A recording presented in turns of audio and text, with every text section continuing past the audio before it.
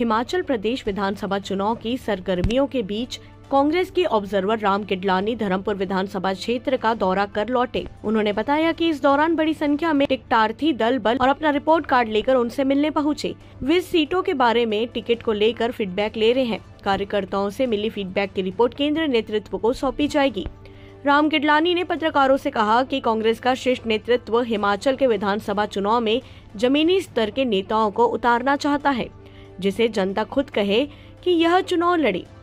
उन्होंने कहा कि जमीनी स्तर पर आकलन करने के बाद ही टिकट एक अच्छे नेता को दिया जाएगा, ताकि विधानसभा चुनाव में जीत सुनिश्चित हो सके। वहीं जिताऊ उम्मीदवार और कुशल नेतृत्व करने वाले नेता को ही टिकट दिया जाएगा।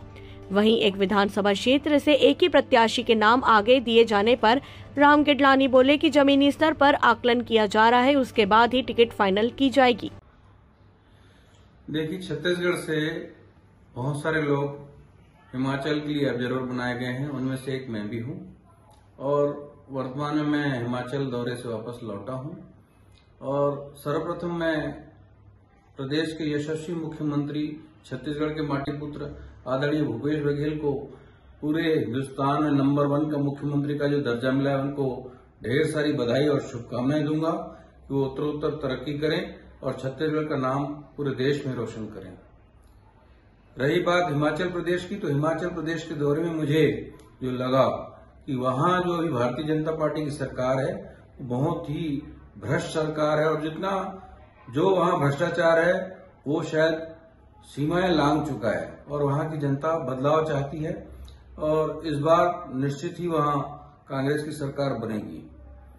छत्तीसगढ़ की बात है, छत्तीसगढ़ मॉडल का तो वहाँ वहाँ का रहन सहन अलग है और यहाँ का रहन सहन अलग है।